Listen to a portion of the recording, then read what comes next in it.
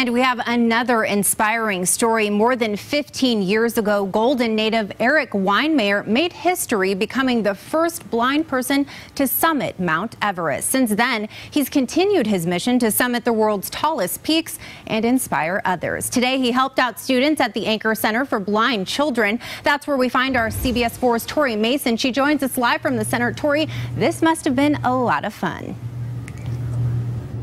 a lot of fun, Andrea. The students here actually have this awesome permanent rock wall setup that they normally use with a physical therapist.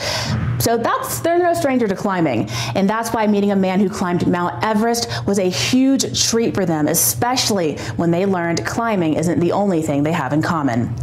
Now, before Erik started to go blind as a teenager, he was an athlete, and he wasn't going to let a little thing like sight take him out of the game. That's when he discovered rock climbing. 29,000 feet later, he's inspiring others to reach their summits too.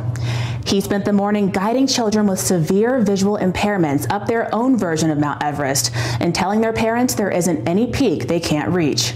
Erik says it's important for all children to have someone they can look up to, whether they can see them or not.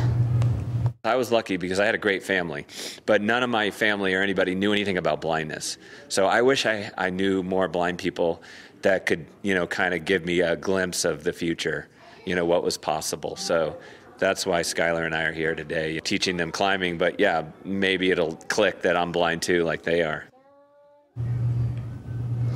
Now, Erik says his whole philosophy is to live life without barriers. And here at the Anchor Center, they give their children the tools and the education necessary to begin that life. In fact, it's one of the few nonprofits that specializes in treating kids with severe visual impairments under the age of five.